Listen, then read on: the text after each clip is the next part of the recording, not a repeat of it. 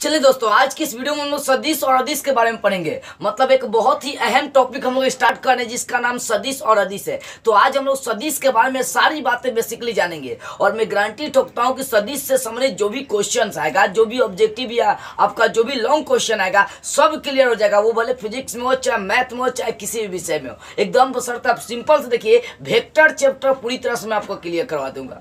तो सबसे पहले हम लोग बात करते हैं सदिश और अदिश की। देखो, सदिश और अदिश, मान लो कि कोई एक व्यक्ति है जो फुटबॉल खेल रहा है तो फुटबॉल खेलने के मतलब वो फुटबॉल को मार दिया। तो फुटबॉल मारा है तो उसमें सिर्फ़ परिमाण है, उसकी कोई निश्चित दिशा नहीं है कि वो दिशा में ही जाएगा। तो कह सकते हैं, फुटबॉल जो है ना, फुटबॉल को मारना वो क्या अदिश हो जाएगा, ठीक है ना? जिसमें केवल परिमाण हो। जैसे मान लो कि रास्ते में पत्थर है, आप बल लगा रहे तो भाई बल लगा रहे हैं तो उसकी दिशा कहीं ना कहीं करेंगे ना। आप बल लगा रहे तो बल उसका परिणाम हो गया। इस परिमाण हो गया मैग्नीट्यूड हो गया। इसका मतलब उसमें सदिश और उसमें दिशा और परिमाण दोनों है। देखो, एक बात पहले क्लियर करिए। हम लोग सबसे पहले जानते हैं अदिश राशि होती क्या। अदिश राशि को इंग्लिश में स्केलर क्वांटिटीज कहते हैं। क्या कहते हैं अदिश राशि को इंग्लिश में? स्केलर क्वांटिटीज कहते हैं। तो स्केलर क्वांटिटीज का मतलब जिसमें सिर्फ़ मैग्नीट्यूड हो मतलब जिसमें परि, परिमाण हो मतलब जिसमें खाली परिमाणे हो। जैसे मान लेते हैं लंबाई। लंबाई की कोई दिशा नहीं है। चौड़ाई, इसकी कोई दिशा नहीं है। मोटाई, इसकी कोई दिशा नहीं है। समझ रही बुआ? तो जिसकी खाली मैग्नीट्यूड हो, परिमाण हो वो क्या कहलाता है? जैसे मान लो, मैं बोलूँ कि खेत की लंबाई पाँच है। अब भाई यहाँ बात समझ लो खेत की लंबाई पाँच है। इसकी कोई दिशा है क्या? नहीं है इसका मतलब ये क्या अदिश है? तो जिसका सिर्फ़ क्या होता है? परिमाण होता है। जिसका सिर्फ़ मैग्नीट्यूड होता है, वही कहलाता है अदिश राशि। तो हम लोग अदिश के बारे में विस्तार से नहीं पढ़ना हम लोग को। हम लोग को पूरा विस्तार से सदिश के बारे में पढ़ना है, क्योंकि टॉपिक का नाम है वेक्टर जिसको हम लोग सदीश कहते हैं। तो आते हैं सदीश का मतलब। देखो, सदीश का मतलब होता है जिसमें परिमाणों हो और दिशा भी हो। क्या हो? परिमाण भी हो, दिशा भी हो। क्या हो? परिमाण भी हो, दिशा भी हो। इस बात को पहले आप फोकस कर लीजिए, ठीक है? तो देखते हैं सदिश राशि का मतलब क्या हो गया? देखो, बल। बल लगा रहे हैं आप। मान लो बल आपके पास है, आप बल लगा रहे हैं किसी भी दिशा में, ठीक है ना, किसी भी वस्तु पर। जब आप भाई बल लगाते हैं फोकस करिएगा, जब आप बल लगाते हैं, क्या करते हैं? जब आप बल लगाते हैं फोकस करिए। जब आप उस पर क्या करते हैं? बल लगाते हैं। तो बल लगा रहे तो बल आपका मैग्नीट्यूड हो गया। आप बल लगा रहे तो कहीं ना कहीं उस वस्तु को आप दिशा देंगे। तो यहाँ पर, यहाँ परिमाण भी हो गया और दिशा भी आ जा रही है, जिसके कारण से हम लोग बोलेंगे कि ये कौन सी राशि है? सदिश राशि है। यानी बल कौन सी राशि होती है? सदिश राशि इसको हम लोग फोर्स कहते हैं। एक एग्ज़ाम्पल और ले लेते हैं। मान लो कि क्वेश्चन दिया है कि एक वस्तु है जो 40 डिग्री पर उत्तर की दिशा में झुका है। अब बताइए कौन सी राशि है? एक वस्तु है 40 डिग्री के कोण पर उत्तर की दिशा में झुकी है। तो 40 डिग्री मैग्नीट्यूड और उत्तर क्या होगा दिशा हो गया। तो यहाँ मैग्नीट्यूड भी और दिशा भी है। इसका मतलब ये कौन सी राशि हो गया? सदिश राशि सदिश राशि में दिशा भी होता है और परिमाण भी होता है। लेकिन अदिश में सिर्फ़ क्या होता है? परिमाण होता है। यानी स्केलर क्वांटिटीज में सिर्फ़ मैग्नीट्यूड होगा। लेकिन वेक्टर प्रोडक्ट में आपका क्या होगा? तो मैग्नीट्यूड के साथ साथ डायरेक्शन भी होगा। इस बात को याद रखिएगा। तो चलिए, जैसे देखिए अधिस राशि में द्रव्यमान हो गया, ताप हो गया, आवेश हो गया विभव हो गया, समय, ऊर्जा, ये सब क्या अदिश राशियाँ हैं? स्केलर क्वांटिटीज है। लेकिन वेक्टर क्वांटिटीज की बात करते हैं तो उसमें विस्थापन। विस्थापन का एक दिशा होता है, वेग। वेग वेग क्या होता है? एक दिशा, वेग में भी क्या होता है? एक दिशा होता है, ठीक है ना? उसमें चाल, परिमाण सब होता है। त्वरण भी क्या होता है? एक सदिश होता है, बल भी क्या होता है? एक सदिश, संवेग भी क्या होता है? एक सदिश। तो सदिश में क्या क्या होनी चाहिए? सदिश में डायरेक्शन मैग्नीट्यूड होना चाहिए। अदिश में सिर्फ़ मैग्नीच्यूड होना चाहिए। ठीक है ना? स्केलर क्वांटिटीज में ओनली मैग्नीच्यूड होना चाहिए और वेक्टर क्वांटिटीज में आपका मैग्नीच्यूड के साथ साथ डायरेक्शन भी होना चाहिए। अब आते हैं हम लोग, आगे बात करते हैं। अब देखो, सदिशों का निरूपण हम लोग कैसे कर लेते हैं, ठीक है ना? सदिश का निरूपण करने के लिए उसमें दो चीज़ें होती है। एक तो उसका मैग्नीट्यूड होना चाहिए दूसरा का उसका डायरेक्शन होना चाहिए। तभी जाकर आप उसका क्या कर सकते हैं, उसको निरूपित कर सकते हैं। तो एग्ज़ाम्पल लेकर चलिए कि कोई आपका ये सदिश है, ठीक है ना? ये। भी कोई सदिश है। अब देखो, जब भी कोई सदिश है तो इसका निरूपण कैसे करेंगे? भी वेक्टर से, जहाँ पर भी दर्शा रहा है कि उसका मैग्नीट्यूड है, भी क्या है? उसका मैग्नीट्यूड है, और ये तिरचिन दर्शा रहा है कि इधर की दिशा में वो जा रही है। तो इस बात से सदिशों का निरूपण हम लोग कैसे करेंगे? रिप्रेजेंटेशन ऑफ़ वेक्टर, सदिश का निरूपण हम लोग कैसे करेंगे? उसके मैग्नीट्यूड के ऊपर क्या करेंगे? एरो लगा देंगे तो वो कहलाएगा आपका सदिशों का निरूपण, ठीक है ना? अगर कोई सदिश आपके पास भी है तो उस पर एरो लगाइए, वो आपका क्या हो जाएगा? वो हो जाएगा सदिश का निरूपण। तो याद देखिएगा यदि भी वेक्टर है तो इसका मतलब भी उसका मैग्नीट्यूड और ऊपर वाला जो एरो है, वो दर्शाएगा उसका डायरेक्शन। अगर मान लेते हैं कि ए हमारे पास कोई सदिश है तो इसका मतलब हो गया कि ए उसका मैग्नीट्यूड हो गया, परिमाण, और ये जो एरो है, ये उसका दिशा दर्शा रहा है कि किस दिशा में वो जा रही है, ठीक है ना? तो चलिए, आपको समझ में आ गई कि सदिश क्या होती है और सदिश को कैसे निरूपित करते हैं। हम लोग पढ़ते हैं टाइप्स ऑफ़ वेक्टर क्या जानते हैं? टाइप्स ऑफ़ वेक्टर यानी सदिशों के प्रकार। देखो, सदिश तो बहुत तरह के होते हैं, लेकिन सबसे पहले हम लोग जानते हैं पोजीशन वेक्टर पोजीशन वेक्टर किसे कहते हैं? तो एक ऐसा सदिश मतलब एक ऐसा सदिश जिसका प्रारंभ मूल्य बिंदु से होता है। फोकस करिएगा। अगर मान लो कि हमारे पास यहाँ पर त्रि अक्ष है फोकस करिएगा ध्यान से। ठीक है ना? तीन अक्ष आपके पास है। एक्स एक्स को नीचे लेकर चलते हैं। एक्स अक्ष वाई अक्ष जेड अक्ष, ठीक है ना? अब यहाँ पर फोकस करने वाली बात है, इसके बीच में कोई एक बिंदु है। ये कोई सदिश है आपके पास। इस सदिश का जब मूल बिंदु से प्रारंभ होगा, इसका मतलब ये कौन सा सदिश हो जाएगा? स्थिति सदिश। तो स्थिति सदिश, जिसको पोजीशन वेक्टर कहते हैं पोजीशन जो वेक्टर होता है, वो कौन सा बिंदु से स्टार्ट होगा? मूल बिंदु से। तो कह सकते हैं कि ऐसा सदिश, जो मूल बिंदु से स्टार्ट होती है, उस सदिश को हम लोग पोजिशन वेक्टर कहते हैं। क्या कहते हैं? पोजिशन वेक्टर कहते हैं। क्या कहेंगे? पोजिशन वेक्टर कहेंगे। अगर मान लीजिए मान लीजिए कि आपके पास कोई सदिश पी है ठीक है ना?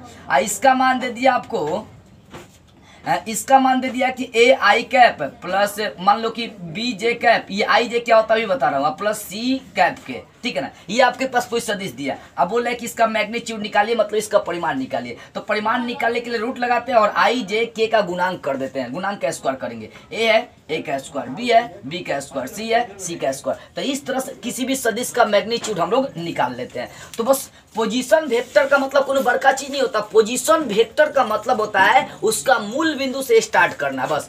ऐसा सदिश जिसका प्रारंभ मूल बिंदु से होती है, उसे हम लोग स्थिति सदिश कहते हैं, देख सकते हैं। ये सदिश मूल बिंदु से स्टार्ट हो रही है। अब आगे चलते हैं। शून्य सदिश क्या होता है? इसको नल वेक्टर चाहे ज़ीरो वेक्टर के भी नाम से हम लोग जानते हैं, ठीक है ना? शून्य शून्य सदिश को नल वेक्टर चाहे ज़ीरो सदिश के नाम से हम लोग जानते हैं। एक ऐसा सदिश जिसका परिमाण ज़ीरो हो। ऐसा सदिश जिसका परिमाण ज़ीरो वो क्या कहलाएगा? ज़ीरो सदिश मतलब ज़ीरो परिमाण का सदिश क्या कहलाता है? ज़ीरो सदिश कहलाता है। अब इसको समझिए। फोकस करिए इसको। मान लो कि मेरे पास कोई सदिश ए है। ठीक है ना? अब इसी परिमाण का कोई सदिश ए घटा देंगे तो ये कौन सा सदिश हो जाएगा? ज़ीरो सदिश हो जाएगा। कौन सा सदिश हो जाएगा? ज़ीरो सदिश हो जाएगा।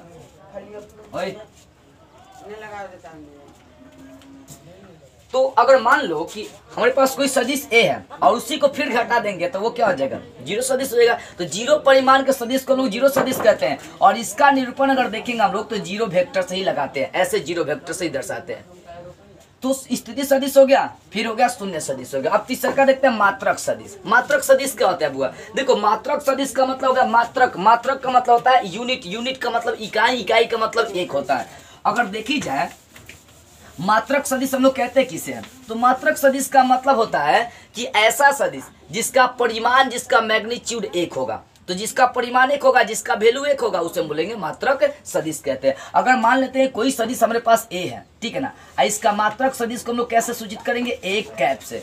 जिस पर कैप लग जाएगा, वो सदिश नहीं है, वो मात्रक सदिश है। यह फोकस करना तो कोई सदिश आपके पास ए है तो इसके मात्रक सदिश को एक कैप से डिनोट करते हैं। किससे? एक कैप से डिनोट करते हैं। तो एक कैप का यदि सूत्र हम लोग निकालेंगे तो निकल जाएगा ए का वेक्टर बटा, हो जाएगा ए के वेक्टर का मैग्नीट्यूड ये कैप का सूत्र आता है। क्वेश्चन में भी आपको नोमेरिकल सॉल्व करके दिखा रहा हूँ, जिसके माध्यम से आपको सिंपल लगेगा। तो मात्रक सदिश यूनिट वेक्टर कहते हैं किसे? तो जिसका परिमाण एक होगा, उसे यूनिट वेक्टर कहते हैं। और इसको सूचित कैसे करेंगे? अगर कोई आपके पास सदिश ए है तो उस पर कैप लगा देंगे, टोपी लगा देंगे तो वो हो जाएगा मात्रक सदिश मात्रक सदिश का सूत्र होता है A vector upon A vector का मैग्नीट्यूड अब आगे चलते हैं। सह आदिम सदिश क्या होता है? इसको को इनिशियल पॉइंट कहते हैं।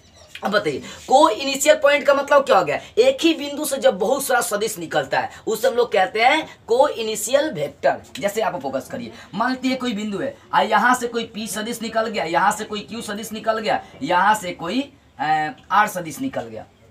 तो यहाँ पर तीन सदिश, तीनों सदिश का एक ही बिंदु है। तो जब बहुत सारे सदिश या दो या दो से अधिक सदिश जब एक ही बिंदु से निकलते हैं, एक ही बिंदु से प्रारंभ होते हैं तो उस सदिश को हम लोग क्या बोलते हैं? को इनिशियल वेक्टर सह आदिम सदिश कहते हैं। पी, क्यू, आर सब सह आदिम सदिश है। ठीक है ना? आगे देखिए, संरेख सदिश, जिसको इंग्लिश में कोलिनियर वेक्टर के नाम से हम लोग जानते हैं। अब कोलिनियर वेक्टर क्या होता है? तो कोलिनियर वेक्टर का मतलब होता है समझिए कोलिनियर वेक्टर का मतलब होता है कि जब सदिश एक दूसरे के समानांतर होते हैं। जब सदिश एक दूसरे के समानांतर होते हैं, वो कोलिनियर वेक्टर होता है, समानांतर नहीं होंगे, वो नहीं हो पाएगा। ठीक है ना? जैसे मान लो कि हमारे पास कोई सदिश यहाँ पर है, ये सदिश हो गया और फिर ये भी सदिश हो गया। तो दोनों सदिश आपस में समानांतर है। इसका मतलब इसमें क्या हो गया कि संडेक है। या देखिए संडेक में दिशा मायने नहीं रखता मैग्नीच्यूड मायने रखता है। दोनों का वैल्यू सेम होना चाहिए। अगर मान लो कि ये आपका ये कोई आपके पास सदिश ए है। इधर से कोई सदिश ऐसे इसका दिशा इधर हो गया। तो दोनों का मैग्नीट्यूड सेम है, डायरेक्शन अलग तो उससे कोई मायने नहीं रखता। है कोलिनियर वेक्टर में क्या होता है कि मैग्नीट्यूड सिर्फ़ इक्वल होना चाहिए, डायरेक्शन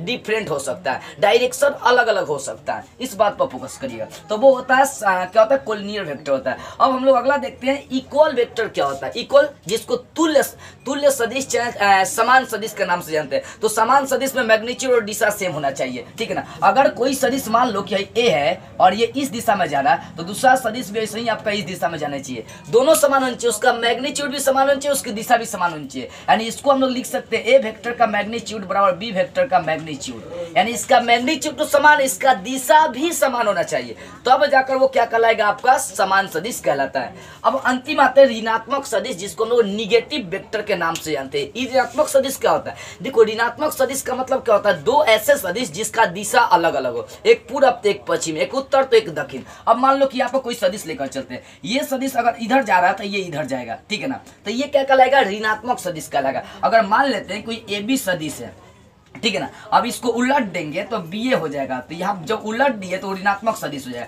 क्योंकि उसकी दिशा मैंने क्या किया? उलट दिया तो क्या होता है? सदिशों का डायरेक्शन चेंज कर देंगे तो वो क्या कहलाएगा ऋणात्मक सदिश कहलाता है। तो ऋणात्मक सदिश में जब मान लो कि दो सदिश मिला यहाँ पर, ये ए बी सदिश इसको उल्टेंगे तो यहाँ से माइनस निकल जाएगा मतलब निगेटिव सदिश हो जाएगा। तो इस तरह से देखिए, जब position vector zero vector unit vector को initial vector collinear vector equal vector और आप देख लिए निगेटिव वेक्टर ये क्लियर हो गया। अब हम लोग पढ़ते हैं सदिशों का योग कैसे निकाली जाती है, ठीक है ना? मतलब अगर देखी जाए, सदिशों का जोड़ निकालने के लिए जोड़ घटाओ तो आप ही होंगे तो जरा सा उस पर लोग चर्चा कर लेते हैं। सदिशों का योग, यानी सदिशों का जोड़ और सदिशों का घटाव गुना भाग सब हम लोग पढ़ लेते हैं। तो अब हम लोग बात करते हैं किसका योग की बात करते हैं, ऐड की बात करते हैं, किसका सदिशों का ऐड जानते हैं। मान लेते हैं कि हमारे पास कोई सदिश ए है, ठीक है ना? और उसके बाद इसको ऐड करना है, कोई दूसरा सदिश हमारे पास बी है। ये लेकर चलते हैं, कोई दूसरा सदिश हमारे पास बी वेक्टर्स है। अब देखो, इन दोनों सदिश को जब मिला देंगे ना तो यहाँ पे एक नियम बनेगा, जिसको सदिशों का त्रिभुज नियम हम लोग कहते हैं। देखो, इस सदिश और इस सदिश को मैं साइड में जोड़ के दिखा रहा हूँ। ये सदिश आपका ऐसा है, इसको ए वेक्टर कहेंगे और दूसर का सदिश, देखो जोड़ते कैसे हैं? तो पहला सदिश का तीर चिन्ह, दूसर का सदिश का प्रारंभिक बिंदु। तो पहला सदिश का तीर चिन्ह दूसर का सदिश का प्रारंभिक बिंदु जोड़ते हैं। दूसर का सदिश का प्रारंभिक बिंदु हो गया, इसको जोड़ेंगे। ये बी वेक्टर्स हो गया, ठीक है ना? अब इन दोनों को जोड़ने से एक नया वेक्टर्स बन जाता है। इन दोनों को जोड़ेंगे तो एक नया वेक्टर बनता है। जिसका नाम आप सी दे सकते हैं। ठीक है ना? तो यहाँ पर सी वेक्टर बराबर हो गया ए वेक्टर प्लस हो गया बी वेक्टर क्या हो गया? बी वेक्टर इसी को हम लोग कहते हैं त्रिभुज का सदिश नियम. क्या कहते हैं? त्रिभुजों का सदिश नियम कहते हैं. त्रिभुजों का सदिश नियम होता है कि जब दो वेक्टर को जोड़ेंगे तो एक तीसरा वेक्टर आ जाएगा. यानी तीसरा वेक्टर बराबर दोनों वेक्टरों का योग हो जाएगा. ठीक है ना? यानी तीसरा जो सदिश आ रहा है सी बराबर तो हो जाएगा सी बराबर ए प्लस बी हो जाएगा. तो इसी को हम लोग क्या कहते हैं? त्रिभुजों का सदिश नियम कहते हैं. क्या कहते हैं? त्रिभुजों का सदिश नियम। यानी अगर इसको देखी जाए तो इसको बोल सकते हैं law vector of triangles and त्रिभुजों का सदिश नियम हम लोग कहते हैं। तो त्रिभुजों का ये सदिश नियम होता है, ठीक है ना? अब देखो, एक दो और एग्ज़ाम्पल मैं दे रहा हूँ, कैसे सदिशों को जोड़ी जाती है फोकस करिए। मान लेते हैं कि अगर कोई सदिश आपका ऐसे जा रहा है दूसरा एग्ज़ाम्पल कोई सदिश आपका ए है ऐसे जा रहा है। और कोई दूसरा सदिश है जो आपका नीचे की ओर ये बी वेक्टर है। तो भाई इसको कैसे जोड़ेंगे? तो ये जो सदिश है, ऊपर क्यों जाता है थोड़ा सा इसको झुका कर लिख देंगे ऐसे। ठीक है ना? ये सदिश आपका ये हो गया। तो बताए थे, पहला सदिश का अंतिम बिंदु, तीर वाला बिंदु। और दूसरा का सदिश का प्रारंभिक बिंदु आपको जोड़ना है। तो दूसरा का सदिश का प्रारंभिक बिंदु ये है। तो इसको ऐसे ला देंगे। ठीक है ना? ऐसे। ये हो गया आपका बी वेक्टर। अब इन दोनों को मिला देंगे तो तीसरा एक सदिश बनेगा। मिलाइए इसको। ठीक है ना? अब सीधा करके मिलाइए ऐसे। मिला देंगे, सी वेक्टर बनेगा। तो यहाँ भी त्रिभुज का सदिश नियम सी वेक्टर बराबर हो जाएगा। ए वेक्टर प्लस हो जाएगा बी वेक्टर। तो त्रिभुजों का सदिश नियम ये होता है। और दो मतलब क्या होता है कि दो सदिशों को जोड़ेंगे कैसे? तो पहला सदिश का तीर चिन्ह और दूसरा का सदिश का प्रारंभिक बिंदु। इन दोनों को जब ऐड करेंगे तो तीसरा सदिश आएगा। और तीसरे सदिश बराबर होता है दोनों सदिशों का योग। इसको हम लोग कहते हैं law law vector of triangles कहते हैं। त्रिभुजों का सदिश नियम कहते हैं। तो चलिए, ये बात आपको समझ में आ गई कि त्रिभुजों का सदिश नियम क्या होती है। अब जैसा हम लोग देखते हैं यहाँ पर कि कैसे हम लोग सदिशों का सदिशों का जोड़ जोड़ तो आपको समझ में आ गया, अब घटाव कैसे निकाल सकते हैं। त्रिभुजों का मतलब क्या होता है वेक्टरों का, सदिशों का घटाव कैसे निकाल सकते हैं, इस पर हम लोग बात करते हैं। अगर मान लेते हैं यहाँ पर, समझिएगा ध्यान से। मान लेते हैं कि हमारे पास कोई वेक्टर ए है इसकी दिशा ऐसे जा रही है ठीक है ना? और कोई दूसरा सदिश ऐसे है ये दू, कोई दूसरा सदिश ऐसे है और इस वेक्टर का नाम दे दिया आपको माइनस बी वेक्टर। क्या है? Minus B vector. अब भाई इसको हमें क्या करना है? घटाना है। पहला सदिश ए होगा दूसरा का सदिश क्या होगा? बी होगा। जब इसका दिशा चेंज कर देंगे तो ये सिर्फ़ बी वेक्टर हो जाएगा। यहाँ पर माइनस बी वेक्टर दिया है तो इन दोनों को जोड़ देंगे। जैसे आप जोड़ते हैं ना उसे ही जोड़ेंगे। हाँ इस दिशा में जा रहा है ठीक है? इस सदिश का आ, क्या करना प्रारंभिक बिंदु को एरो से जोड़ देना है। तो ये आपका था ए वेक्टर और ये आपका है कि कौन सा माइनस बी वेक्टर दोनों को जोड़ेंगे तो एक तीसरा सदिश भी आपको मिल जाएगा। तीसरा सदिश मिलेगा इसको सी नाम देंगे। यानी सी वेक्टर बराबर देख देख सकते हैं। ए वेक्टर माइनस हो जाएगा बी वेक्टर तो दो सदिशों का क्या निकल रहा है? अंतर निकल रहा है। आ इससे आपको घटाना होगा। जैसे घटाओ घटाते हैं उसे आप घटा देंगे। तो सदिशों का घटाव निकल जाएगा। तो इसका अगर हम लोग सब्सट्रेक्शन देखते हैं, किसका? सदिशों का घटाव देखते हैं। सब्सट्रेक्शन अगर सदिशों का हम घटाव देखते हैं तो उसमें कुछ नहीं करना देखो, आपको उसमें दो सदिश दिया रहेगा। एक रहेगा पहला सदिश और दूसरा रहेगा दूसरा सदिश। अब दोनों का डायरेक्शन देखना, कैसे जोड़ना होता है? बस देखो, घटाव में क्या होता है कि माइनस को प्लस बनाकर चलेंगे, ठीक है ना? अगर मान लो ये ए वेक्टर ये दूसरा बी वेक्टर है तो ए वेक्टर का अंतिम एरो और दूसरा दूसरा का वेक्टर्स का प्रारंभिक बिंदु से जोड़ देंगे। देखिए, ये इसका अंतिम एरो और इसका प्रारंभिक, दोनों को जोड़ एक तीसरा सदिश हमें मिल जाती है। तो इस तरह से सदिशों का हम सब्सट्रेक्शन निकाल सब्सट्रेक्शन निकाल निकाल लेते हैं, ठीक है ना तो ये सदिश क्या होता है, सदिश कितने प्रकार के होते हैं, उसके बाद सदिशों का योग, या चाहे सदिशों का त्रिभुज नियम क्या होता है, सदिश का घटाव कैसे निकलते हैं समझ में आ गई। अब जैसे हम लोग सदिशों का गुणन पढ़ते हैं, सदिशों का गुना कैसे करते हैं? अब सदिशों का हम लोग गुणन देखते हैं, देखो सदिशों का गुना दो तरीके से करते हैं। सदिशों का गुना क्या होता है कि सदिशों का अधिस गुणनफल भी करते हैं, और सदिशों का सदिश गुणनफल भी करते हैं। अगर मान लेते हैं कि हमारे पास कोई सदिश ए वेक्टर है, और इसमें कोई मतलब मान लो कोई सदिश ए वेक्टर है, और इसमें किसी अधिस से मतलब किसी अचर से गुना करते हैं, लेमडा से गुना करेंगे तो सेम का सेम गुना कर देते हैं, ठीक है ना? ए वेक्टर में क्या करें? लेमडा से गुना कर देंगे। तो होता है क्या कि किसी सदिश में जब अधिस से गुना करते हैं तो वो भी सदिश से होता है। अगर सदिश में अधिस से गुना करेंगे तो क्या हो जाएगा? वो हो जाएगा सदिश। हम लोग यहाँ पर मेन पॉइंट पर बात करते हैं। दो सदिशों का अधिस गुणन और दो सदिशों का सदिश गुणन। दो तरह का आपको गुना पढ़ना है। दो सदिशों का अधिस गुणन और दो सदिशों का सदिश गुणन। इसी पर हम लोग दो चार नोमेरिकल क्वेश्चन बनाएँगे और ये आपका एक्सरसाइज जो है ना वेक्टर पूरी तरह से क्लियर हो जाएगा और किसी भी एग्ज़ाम का क्वेश्चन आपसे मिस नहीं होने वाला। ये मेरा गारंटी है। देखो, दो सदिशों का अधिस गुणन तो मान लेते हैं कि हमारे पास कोई दो सदिश है ए वेक्टर्स और दूसरा का बी वेक्टर्स तो इन दोनों के अधिस गुणन को हम लोग डॉट लगाकर डिनोट करते हैं, ठीक है ना? दो सदिशों का अधिस गुणन यही हो गया। डॉट जहाँ लग जाएगा, समझिए कि दो सदिश का अधिस गुणन हो गया। लेकिन अगर जहाँ पर क्रॉस लग गया कि ए वेक्टर और बी वेक्टर दो सदिश है, यहाँ पर क्रॉस लग गया तो इसका मतलब ये दो सदिशों का सदिश गुणन हो गया। तो दो सदिशों के अधिस गुणन को डॉट लगाकर डिनोट करते हैं, दो सदिशों के सदिश गुणन को क्रॉस लगाकर डिनोट करते हैं, ठीक है ना? अब आते हैं हम लोग बात करते हैं आगे।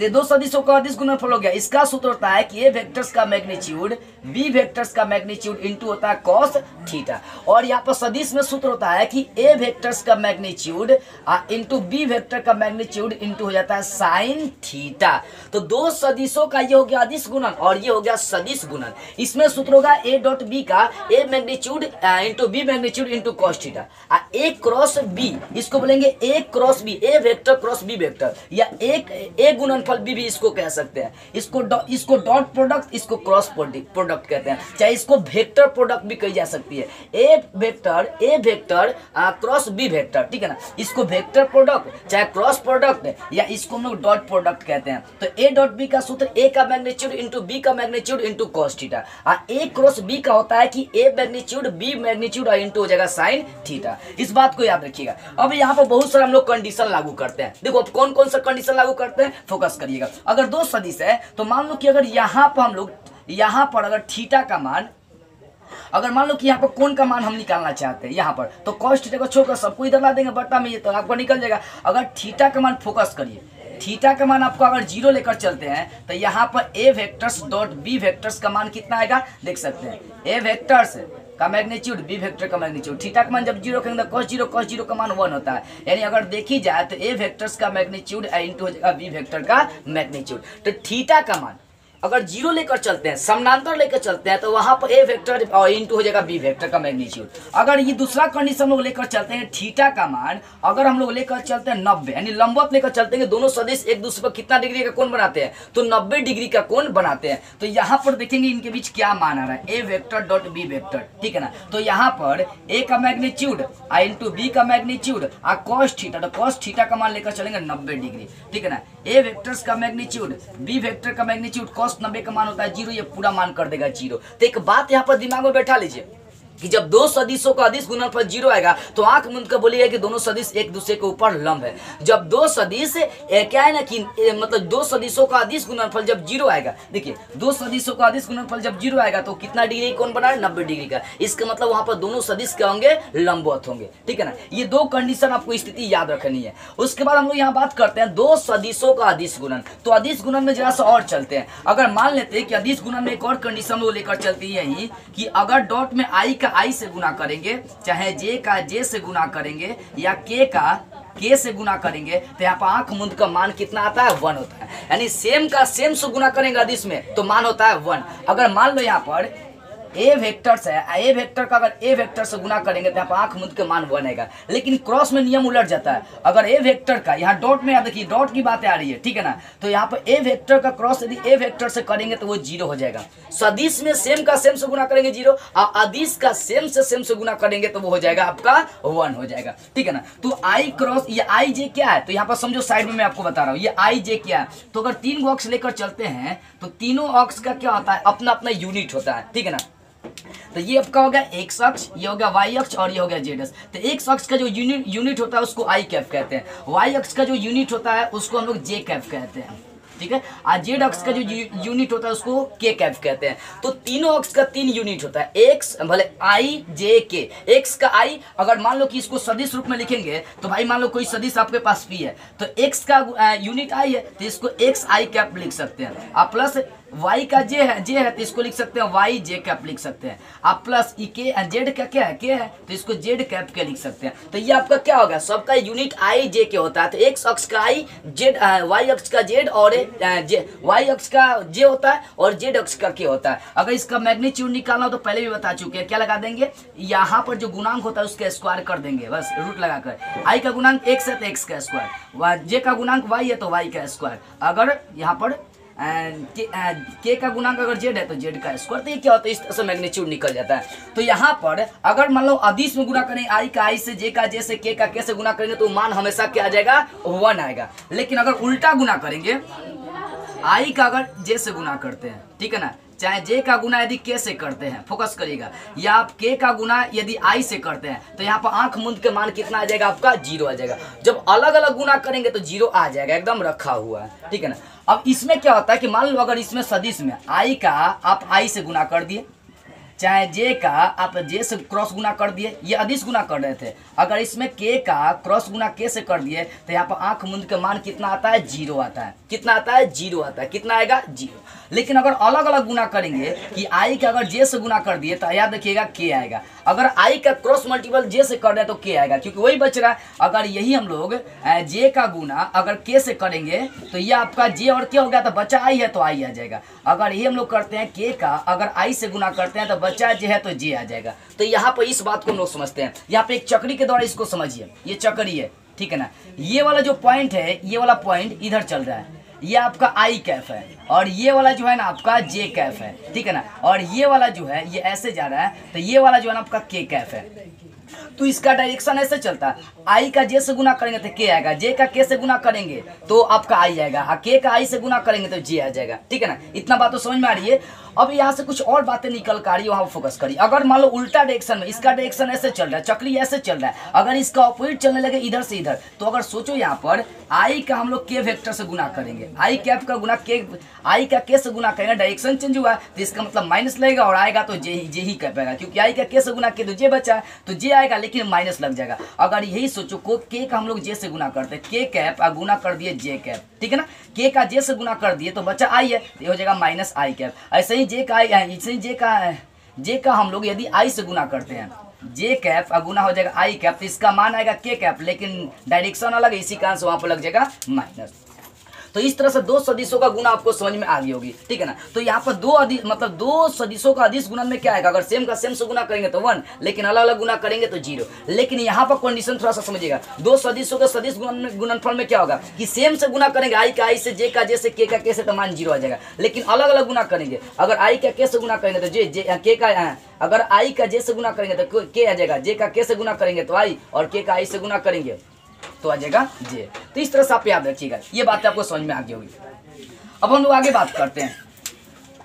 तो ये हो गया दो सदिशों का सदिश गुणनफल सूत्र हम लोग देख लेते हैं। अगर मान लो यहाँ पर दो सदिशों का सदिश गुणनफल आ गया, यहाँ पर भी कौन लेकर चलते हैं, एंगल लेकर चलते हैं। अगर थीटा का मान हम लोग ज़ीरो लेकर चलते हैं तो सोचो यहाँ पर ए वेक्टर्स क्रॉस क्या होगा, बी वेक्टर्स। सोचो यहाँ पर तो इसका मान होगा ए का मैग्नीट्यूड बी का मैग्नीट्यूड साइन थीटा थीटा का मान कितना रखेंगे? नब्बे रखेंगे, ज़ीरो रखेंगे। तो साइन ज़ीरो का मान होता है ज़ीरो, ये पूरा मान कर देगा ज़ीरो। अगर यहाँ पर फोकस करेगा जब ए क्रॉस बी का मान ज़ीरो आ जाएगा ना तो इसका मतलब है कि दोनों सदिश एक दूसरे के समानांतर है। क्यों? क्योंकि देखो, ज़ीरो आने का मतलब ज़ीरो डिग्री उठा है तो एक दूसरे के समानांतर है, तभी ना वो ज़ीरो डिग्री का कौन बना रहा है। इसका मतलब जैसे ही ए क्रॉस बी का मान ज़ीरो आएगा तो आँख मुंद कर बोलेंगे कि दोनों सदिश क्या समानांतर है क्रॉस मल्टीपल में। लेकिन क्या था? अदिश गुणनफल में क्या था कि जब दो सदिश का ज़ीरो आ रहा था, वो हो रहा था। ज़ीरो कब आ रहा था? जब 90 डिग्री का कोण बन रहा था। तो इस बात को आप याद रखिएगा। दूसरा कंडीशन यदि हम लोग लेकर चलते हैं, थीटा का मान यहाँ पर 90 डिग्री उठाकर चलते हैं 90 डिग्री उठाते हैं, तब A vector cross B vectors का मान लेकर चलते हैं।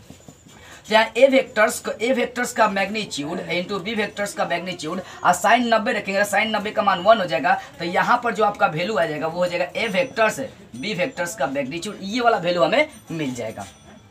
सेट हो हाँ देखो तो ये होगा थीटा का मान नब्बे डिग्री होगा। जब ज़ीरो आएगा तो अगर दो सदिशों का सदिश गुणनफल ज़ीरो आया तो दोनों सदिश एक दूसरे के समानांतर है। इस बात को याद रखिए यहाँ पर जब दो सदिशों का गुणनफल ज़ीरो आ गया तो दो सदिशों का अधिस गुणनफल ज़ीरो आया तो वो लंबवत है। और दो सदिशों का सदिश गुणनफल ज़ीरो आया तो दोनों सदिश एक दूसरे के समानांतर है। तो इस तरह से सदिशों का जो अधिस गुणन है, जो सदिश गुणन है, वो विस्तार से आपको समझ में आ गई होगी। अब जैसा एक दो नोमेरिकल क्वेश्चन सोल्व करते हैं, उसके बाद इस एक्सरसाइज को स्टॉप करेंगे। अब एक दो क्वेश्चन हम लोग देख लेते हैं। देखिए, यहाँ पर दो सदिशों का अधिस गुणनफल में एक क्वेश्चन देख लेते हैं और इस दो सदिशों का सदिश गुणनफल में हम लोग क्वेश्चन देखते हैं। दिया कि सदिश ए बराबर इतना दिया, सदिश बी बराबर इतना दिया तो यहाँ पर कौन का मान निकालना है? तो सबसे पहले जो दोनों सदिश दिया क्या कि हमें कौन का मान निकालना है? तो कौन का मान निकालने के लिए हमें क्या करना पड़ेगा? ए डॉट बी का सूत्र था ए का मैग्नीट्यूड इंटू बी का मैग्नीट्यूड इंटू कॉस थीटा तो ए और बी का मैग्नीट्यूड निकाल लेंगे। सबसे पहले इनका क्या करेंगे? डॉट प्रोडक्ट में हम लोग गुना करेंगे। यानी A vector dot B vector का गुना करेंगे। तो देख सकते हैं ए वेक्टर्स का मान है थ्री आई आप प्लस फोर जे कैप आप प्लस है फाइव कैप के ये ए वेक्टर्स का मान। डॉट में हमें गुना करना है। तो यहाँ पर आई कैप आप प्लस जे कैप अब प्लस हो जाएगा के कैप अब यहाँ पर डॉट में गुना कैसे करते हैं? इसी कारण से मैं आपको एग्जांपल दिया, देखो. आई के गुणांक के आई के गुना करते हैं. जे के गुणांक से जे का गुणांक से गुना करते हैं. जैसे आई का गुणांक थ्री यहाँ पर आई का गुणांक वन है. थ्री का वन से गुना करेंगे थ्री आई का आई से गुना करेंगे वन आगे देखते हैं प्लस प्लस प्लस हो जाएगा. जे का गुणांक फोर यहाँ जे का गुणांक वन है. तो फोर हो जाएगा जे का गुणांक वन से करेंगे वन होगा. फाइव का गुणांक यहाँ पर के का गुणांक फाइव है और के का गुणांक यहाँ पर वन है. तो फाइव को वन से गुना करेंगे फाइव के का के से गुना करेंगे वन बताते ना? डॉट में सेम का सेम से गुना करेंगे वैल्यू आपका वन आ जाएगा। अब यहाँ ऐड करो थ्री का वन से गुना करेंगे थ्री चार चार, पाँच हो जाएगा तो ये हो जाएगा आपका चार, पाँच, नौ, तीन, बारह हो जाएगा। ठीक है ना? यानी यहाँ पर ए डॉट बी का मान बारह आ गया। अब इसका मैग्नीट्यूड एक एक वेक्टर का निकाल लेते हैं। तो मैग्नीट्यूड कैसे निकालना बताया था? आई जे के का जो गुणांक है, उस पर रूट लगा के स्क्वायर कर देंगे। तो गुणांक तीन है, तीन का स्क्वायर चार का स्क्वायर और प्लस पाँच का स्क्वायर देख सकते हैं, तीन, चार, पाँच का स्क्वायर अब इसका वैल्यू करते हैं, तीन का स्क्वायर चार का स्क्वायर पाँच का स्क्वायर पाँच स्क्वायर पच्चीस, चार का स्क्वायर सोलह, पच्चीस सोलह। पच्चीस सोलह इकतालीस और तीन का स्क्वायर नौ रूट पचास हो जाएगा ये। ठीक है ना? ऐसे बी का मैग्नीट्यूड हम लोग निकाल लेते हैं। तो बी का मैग्नीट्यूड निकालिए। तो वन वन वन है तो वन का स्क्वायर प्लस वन का स्क्वायर प्लस वन का स्क्वायर तो क्या हो जाएगा? रूट अंडर थ्री आ जाएगा। तो ए का मैग्नीट्यूड इंटू बी का मैग्नीट्यूड आपका वैल्यू निकल गया। ठीक है ना? ए का मैग्नीट्यूड इंटू बी का मैग्नीट्यूड आपको पूरी तरह से निकल गया। अब आगे चलते हैं। अब सूत्र क्या होता है? A vector dot B vector का सूत्र होता है कि ए का मैग्नीट्यूड इंटू बी का मैग्नीट्यूड इंटू कॉस थीटा होता है। हमें कौन का मान निकालना है? तो कॉस को छोड़ देंगे। कॉस को छोड़ के गुना में चाहे तो इधर चलेगा बट्टा में। यानी कॉस थीटा का सूत्र होता है हो जाएगा A vector dot B vector अब बटा ए वेक्टर का मैग्नीट्यूड इंटू बी वेक्टर का मैग्नीट्यूड अब बात करते हैं ए डॉट बी का मान कितना है? ए डॉट बी का मान निकाल लें आप। ए डॉट बी का मान है बारह निकल गया। किसका मान? ए डॉट बी का मान बारह निकल गया। और साथ में देख सकते ए के मैग्नीट्यूड का मान रूट अंडर पचास है और बी के मैग्नीट्यूड का मान रूट अंडर थ्री है। अब बात करते हैं कॉस्ट थीटा बराबर। बारह बटा, रूट अंडर एक सौ पचास हो जाएगा एक सौ पचास का बाहर निकलेगा कि नहीं, ये हम लोग देख लेते हैं। फैक्टर कर लीजिए एक सौ पचास का दो तो पचहत्तर हो जाएगा, ठीक है ना? फिर तीन से लगाएँगे पच्चीस या पचहत्तर। फिर पाँच से लगाएँगे पचास, पच्चीस। यानी पाँच का रूट बनेगा, ठीक है ना? तो पाँच से बाहर निकलेगा तो बारह अपन हो जाएगा, पाँच बटा रूट अंडर छः हो जाएगा, ठीक है ना? तो यहाँ पर हमें थीटा का मान निकालना है तो हम थीटे का मान निकालेंगे। तो थीटा को छोड़कर कॉस को इधर ला देंगे। तो यहाँ से कौन का मान निकलेगा? कॉस यूनिवर्स ये कॉस इसके संग जुड़ जाएगा, थीटा बराबर कॉस यूनिवर्स बारह बटा पाँच रूट सिक्स हो जाएगा। यही आपका क्या निकल गया? कोण का मान निकल गया। तो ऐसे निकालना दो सदिशों में कोण का मान। पहले ए डॉट बी निकालना ए का मैग्नीट्यूड निकालना बी का मैग्नीट्यूड निकालना, सूत्र आपको लगा देना दो सदिशों का अदिश गुणनफल का। ठीक है ना? अब दो सदी सदिशों का सदिश गुणनफल को हम लोग समझते हैं। जब दो सदिशों का सदिश गुणनफल होता है, मान लो कोई हमारे पास सदिश ए है और कोई सदिश बी है तो इनका सदिश गुणन करना तो इनका सदिश गुणन करने के लिए ट्वेल्थ का चैप्टर याद करिए, उसमें आप पढ़े सदिश गुणनफल का सूत्र कैसे होता है। अगर दो सदिश हमारे पास है तो आप आई जे के का गुणांक पहले लिखेंगे, फिर दूसरे सदिश का आई जे के गुणांक ऐसे लिखेंगे। तो ऐसे सजाकर सारणिक रूप में हमें गुना करते हैं, ठीक है ना? जैसे एग्ज़ाम्पल के तौर पर हम लोग समझते हैं।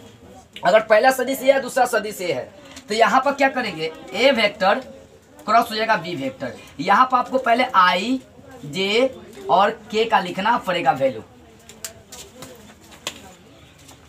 अब देखिए आगे। तो यहाँ पर पहले सदिश का आई जे के लिख दिए मतलब जो आई जे के लिख दिए, अब पहले सदिश का गुणांक लिखो। यहाँ पर माइनस टू है। यहाँ पर थ्री है और यहाँ पर वन है। इसमें चलता है दूसरा में। यहाँ पर टू है और यहाँ पर माइनस टू है और यहाँ पर आई का गुणांक कितना? माइनस वन है। हो गया ना? ऐसे आपको सदिश गुणनफल करना है देखिएगा दो सदिश दिया रहेगा तो आई जे के का गुणांक आपको लिखना। पहले का लाइन में पहला सदिश, दूसरा का लाइन में दूसरा का सदिश। अब यहाँ पर कैसे गुना करेंगे? यहाँ पर फोकस करिए। पहला देखते हैं यहाँ पर। फोकस करिएगा। आई जो है ना आई अगर उठा लेंगे तो आई उठाएँगे। फोकस करिए। अगर हम लोग आई उठाएँगे तो आई के सामने का सारा एलिमेंट्स गायब है। ये इकतीस और ये इकतीस। तो बच रहा है चार इसका क्रॉस मल्टीपल करेंगे। तीन का माइनस वन से गुना करेंगे माइनस तीन। ठीक है ना? बीच में माइनस होता है माइनस माइनस का जाएगा प्लस और तीन का वन से गुना कर देंगे थ्री हो जाएगा। हो गया। ऐसे दूसरका जो चलता है ना पहलका का चिन्ह प्लस होता है, दूसरका का माइनस होता है, और तीसरका का फिर प्लस होता है। स्टार्टिंग प्लस होता है वैसे चलेगा प्लस माइनस प्लस ठीक है ना? अब आगे का चलते हैं माइनस जे उठाएँगे। तो माइनस जे उठाएँगे तो इसके आमने सामने का एलिमेंट्स सब गायब हो जाएगा। आमने सामने का एलिमेंट्स गायब। तो क्या बच रहा है? माइनस टू टू और वन वन वन बच रहा है। तो माइनस टू का माइनस वन से गुना करेंगे तो माइनस टू बीच में चिन्ह होता है माइनस और टू का वन से गुना कर देंगे टू अगला के का चिन्ह होता है प्लस के उठाएँगे। अब देखो यहाँ पर के के आमने सामने का एलिमेंट सब गायब। तो बचेगा माइनस टू टू और थ्री थ्री बचेगा। तो माइनस टू का माइनस थ्री से गुना करेंगे तो सिक्स होगा बीच में चिन्ह माइनस होता है। और द्वितीय कितना हो जाएगा? छः अब यहाँ पर लिख दो से जाकर तीन में से तीन घटेगा तो हो जाएगा ज़ीरो आई कैप यहाँ पर हो जाएगा माइनस फोर तो माइनस माइनस प्लस हो जाएगा फोर जे कैप और यहाँ पर क्रिया करेंगे तो हो जाएगा ज़ीरो कैप के। यानी अगर देखी जाए यहाँ पर तो आ गया फोर जे कैप आ गया। आपका आंसर यहाँ पर आ गया। ठीक है ना? एक बराबर यहाँ पर जैसा हम लोग देख लेते हैं, दूसरा वाले। ये कटिस ये कटिस तो माइनस टू देखो, यहाँ पर देखिए, माइन, ये जो हम जे उठाए थे, जे उठाए थे तो ये कटिस ये कटिस तो माइनस टू टू आ गया था। और वन माइनस वन आ गया था। तो माइनस टू का माइनस वन से गुना कर दिया था तो ये प्लस टू हो जाएगा। यानी हाई वाला वैल्यू आपका क्या हो जाएगा? ज़ीरो टू में से टू घटेगा ज़ीरो हो जाएगा। यानी यहाँ पर टोटल वैल्यू क्या आ रहा है? ज़ीरो आ रहा है। आपको बता दिएगा था कि जब दो सदिशों का सदिश गुणनफल ज़ीरो आएगा तो दोनों एक दूसरे के समानांतर होते हैं। ठीक है ना? तो यहाँ दो सदिशों का सदिश गुणनफल आ गया तो ये दोनों क्या हो जाएँगे? एक दूसरे के समानांतर है। तो ये भी बात आपको समझ में आ गई चलिए। अब देखिए ना, थोड़ा सा वीडियो क्या हो रहा है? लंबा हो रहा है। दो सदिशों का सदिश गुणनफल और डिस गुणनफल अब अगले वीडियो में इससे संबंधित हम लोग नोमेरिकल क्वेश्चन बहुत ज़्यादा हल करेंगे और समझेंगे कि दो सदस्यों का सदस्य गुणनफल और डिस गुणनफल कैसे निकालते हैं बेटर से। तो बस आज की इस वीडियो में इतना ही। अगले वीडियो में हम लोग इसके नोमेरिकल को सब करते हुए फिर मिलेंगे।